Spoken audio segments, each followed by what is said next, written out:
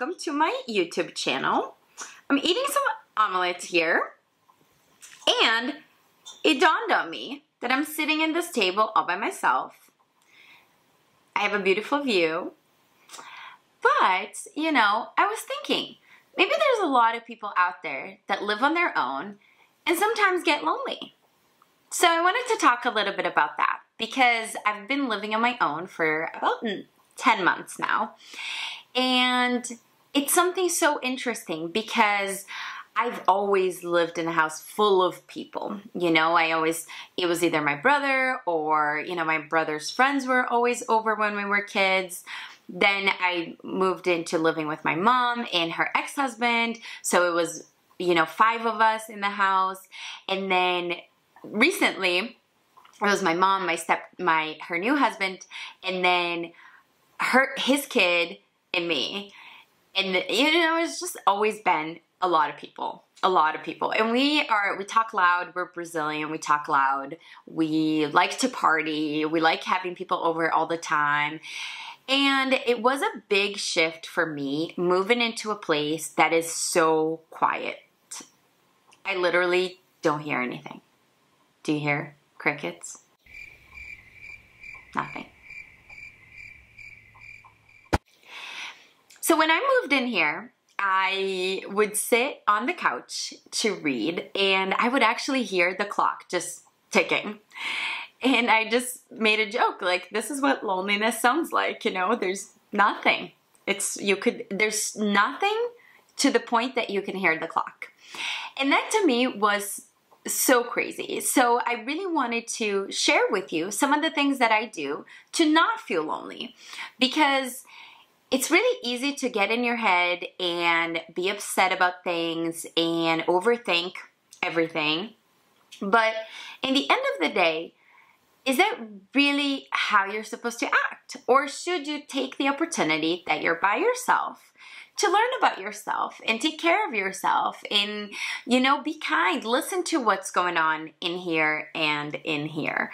So, some of the things that I do is journaling if I do feel, you know, upset or something is going on that I don't quite know how to respond, I will journal because it helps me understand, you know, am I overthinking this? Am I looking at this from the wrong point?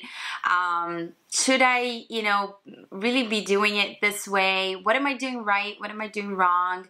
And really observe, you know, what, how my responses are and you know just trying to align better with what I do say and how I do act to make sure that you know I'm not being a hypocrite you know because I'm all about self-love and if I don't actually do that in my real life, then I feel like I'm being a hypocrite. So I do take the time to really observe how I'm feeling and get in touch with myself mentally and emotionally.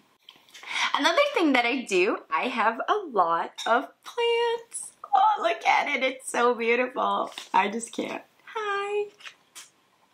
Um, so it's really nice and I do like to take care of them. So, you know, once a week I'll take everybody, all the plants, everybody, all the plants up to the to the kitchen and I'll just, you know, I'll trim them. I'll get rid of, you know, any dead leaves or anything like that. I'll water them, get them really nice and talk to them.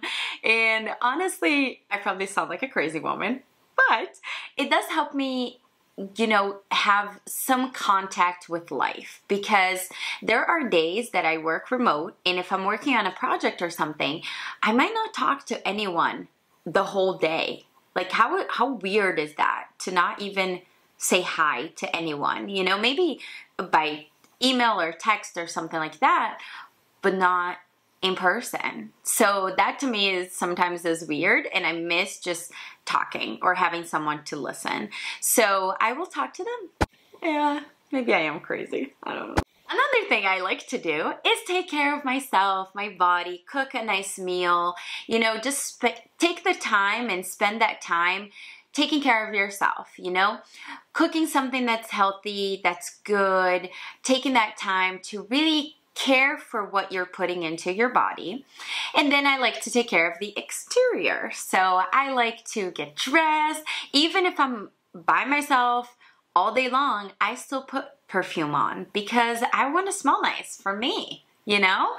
I don't need to wait for someone to smell me.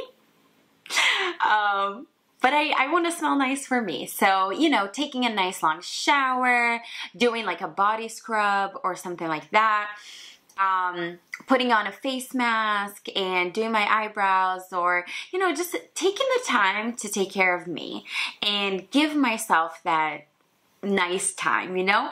Um, I don't recommend drinking if you live on, on your own because you're already vulnerable in your environment. So if you do drink or, you know, do drugs or things like that, you really have to be a little careful of you know, am I doing this just to relax or am I trying to use it as kind of a an anchor, you know, um, or as a distraction. So I don't don't do any of that. Last but not least, I love learning.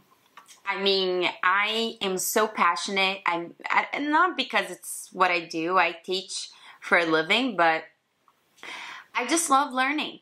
I love becoming better. You know, I um Patrick Bet David, he says, you know, it's all about the the game. It's all about you know the the growth and the game. It's not about the money.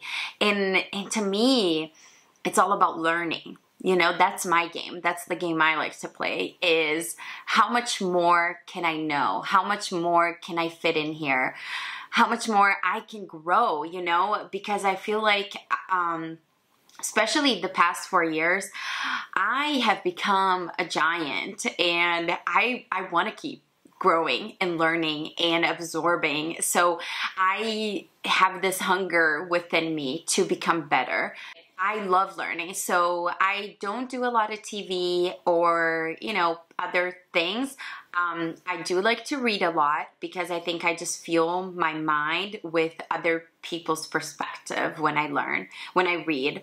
And then I like doing like YouTube or things like that, um, LinkedIn Learning. YouTube uh, or like just doing a certificate or something like that to really focus on something specific that I'm trying to learn. So um, it's awesome and it's even more awesome even better when you get to apply those things and you actually see a shift and you see things happening and you're like, mind blown. So, I love learning, and there, that's the one thing I probably will never, ever stop doing is learning because I I think that's the thing I'm most scared of is one day not be able to learn anything new. So I gotta keep keep this learning vibe. All right, so those are the things that I do in order to not feel lonely, but be alone.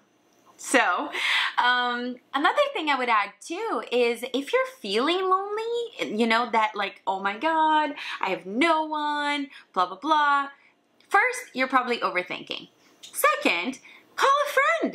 Go out, go out to eat, go out dancing, go for a walk, you know, go if you're by yourself too, but you know, maybe nobody's available, go for a walk in your town, take your camera, take your phone, go for a walk, take some pictures, and just let, you know, yourself kind of be in the moment and understand that, hey, maybe, yes, you're by yourself right now, but that doesn't mean that there's not people out there who care about you. So that is the message, and I hope to see you again next time. If you are not subscribed yet, please subscribe to this lovely channel, and I'll see you next time. Bye. Say bye. Say bye to the people.